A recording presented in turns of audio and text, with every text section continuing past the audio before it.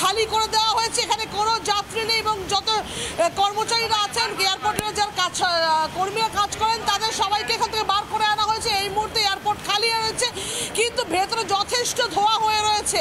তাই জন্য এই মুহূর্তে ভেতরে যে ধোঁয়ার যাতে বেরিয়ে আসতে মানে দমকলের মানে কর্মীরা কাজ করতে কোথাও কোনো পকেটে জানে কোথাও আগুন না থাকে, সেটা যেন তারা খতিয়ে দেখছেন। এবং সেখান থেকেই মানুষজনকে তারা বার করে আনা হয়েছেন যারা কর্মী আছে বিমানে, তাদের সবাইকেই বার করে আনা হয়েছে। এবং সেখানে এখন কাজ চলছে। এই মুহূর্তে বিমান চলাচল বন্ধ রয়েছে। পরিষেবা কতক্ষণে স্বাভাবিক হবে সেটা কিন্তু এক্ষুনি জানা যাচ্ছে না। সাধারণ মানুষের সঙ্গে কথা বলা যায় যাত্রীরা যারা রয়েছেন তাদের সঙ্গে কথা বলা যায় এবং দমকল কর্মীরা যে রয়েছেন তাদের সঙ্গে কথা বলা যায়। কারণ এই মুহূর্তে তোমার ছবি বলছে যে আগুন প্রায় হয়তো নিয়ন্ত্রণে কারণ কারণ জলের? পাইপ ফুটিয়ে নেওয়া হচ্ছে। আমি ফিল্ম ডাইরেক্টর আমি এখানে সুভাষ বোসের ফিল্মটা শুটিং করতে এসেছিলাম।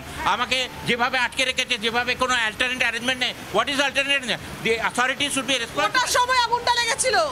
এক ঘণ্টা আগে মতন আমাদেরকে চেক ইন করার পরে বার করে দেওয়া হয়েছে। There is no alternate arrangement there should be alternative ভেতরের পরিস্থিতি ভেতরের পরিস্থিতি তিন চারটে ব্লাস্ট হলো। বলল যে কি শর্ট সার্কিট হয়েছে।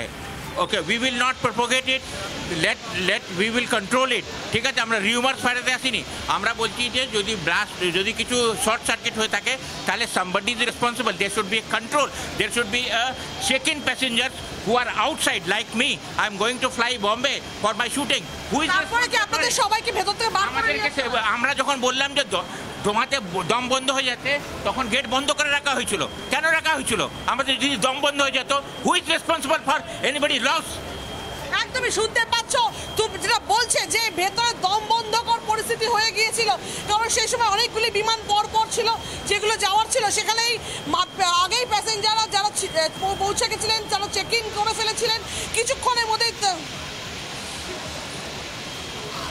আপ- যাত্রী আপনি কি ফ্লাইটে যাচ্ছিলেন এই ফ্লাইটে दिल्ली की फ्लाइट है मेरी तो আপনি কি এই এয়ারপোর্টে যাচ্ছিলেন हिंदी बंगाली नहीं आप क्या जा रहे थे जा रहे जा रहे क्या हुआ था मेरे को नहीं मालूम मैं तो अभी आया हूँ हाफ एन आवर पहले और आके यहाँ पे आप क्या देख रहे हो अभी कोई फ्लाइट सब कैंसिल हो गया फ्लाइट कैंसिल हो गया ये बता रहे हैं अभी डिलेट हो गया अब मेरे को दिल्ली जाना है दिल्ली से फिर मेरे को सूरत जाना है मैं चाह रहा हूँ कि अब दिल्ली से सूरत में कैसे पहुँचूंगा टाइम हाँ, पूरा शेड्यूल बिगड़ जाएगा आप कहाँ जा रहे थे मुंबई आ- आके यहाँ पे क्या देखे आप?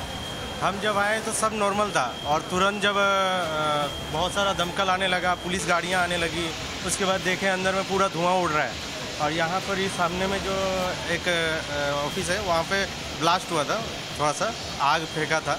उसके बाद सब पानी भी मारे, वो जो फायर ब्रिगेड वाला धुआँ मारे तो फिर सब कंट्रोल में आया। फिर दमकल का जितना भी टीम था, सब इस गेट से, उस गेट से सभी आए और सब नियंत्रण में करने की कोशिश में है अभी क्या हुआ नहीं हुआ अभी तो हमको भी पता नहीं हम बाहर ही कितने बजे की फ़्लाइट थी आपकी? मेरी सुबह छः बजे है और मैं दूर से आ रहा हूँ इसलिए मैं पहले आ गया हूँ। आपकी कितने बजे की फ़्लाइट मेरी इलेवन थर्टी फ़्लाइट है। मेरे को यहाँ से दिल्ली जाना है फिर दिल्ली से मेरे को सूरत जाना है। मैं सोच रहा हूँ कि मैं सूरत कैसे पहुँचूँगा मैं दिल्ली से सूरत कैसे पहुँचूँगा? वहाँ की फ़्लाइट तो डिले नहीं होगी यहाँ की फ़्लाइट अगर डिले होती है ছিলেন বিমানে আর আপনার ফ্লাইট কটার সময় ছিল আমার ten forty ten reporting time ten forty five Bombay flight I am film director Champak Banerjee national award winner দাদা কালকে আচ্ছা আবার আপনারা আমাকে এটা বলুন যে আপনারা তো flight 10:45 to Bombay. 10:45 to Bombay. There is no alternative. There is no authorities to responsible who is answering. যাকে আমরা একটু হিন্দিতে বাংলাতে মিলিয়ে বলতে পারছি যারা ইংরেজি বোঝে বা হিন্দি বোঝে তাদের কোনো অথরিটি নেই আমরা জানি না বলছে হোয়াট ইজ দিস হ্যাপনিং সব সব ফ্লাইট ক্যান্সেল করে দিয়েছে নেট বন্ধ করে দিয়েছে যদি সম্ভব হয় ফ্লাইট।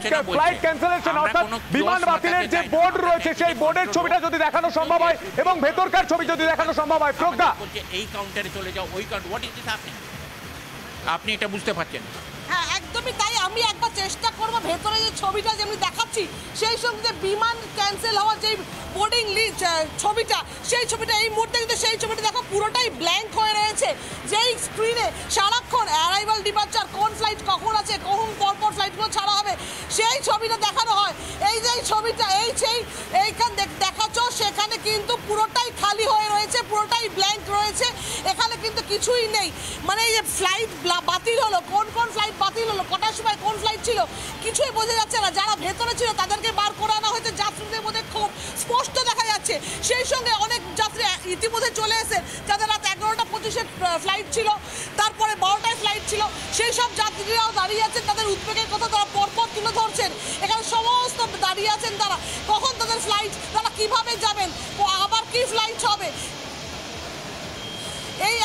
যাত্রীদের মধ্যে একটা উদ্বেগ কাজ করছে আ- আ- আপ- আপ- আপনার ফ্লাইট कितने बजे की थी ग्यारह बजे की ग्यारह बजे आप यहाँ पे आ गए थे मैं आठ बजे आ गया था फिर क्या हुआ मैं जब आया तो देखा मैं उस जगह पे था जब जब आग लगी तो कुछ का- काउंटर पे स्टाफ्स बैठे हुए थे প্রকাশ लेकिन वो যেখানে लोग আগুন अपना লেগেছিল सामान সেই लेकर ছবিটা दौड़ गए, ভিডিও सिर्फ জার্নালিস্টকে একটু দেখানোর জন্য অনুরোধ করবো এই वो लोग মুহূর্তে अपना सामान लेकर দমকল चले কর্মীরাও गए। সেখানে রয়েছেন सिर्फ आग প্লিজ में দু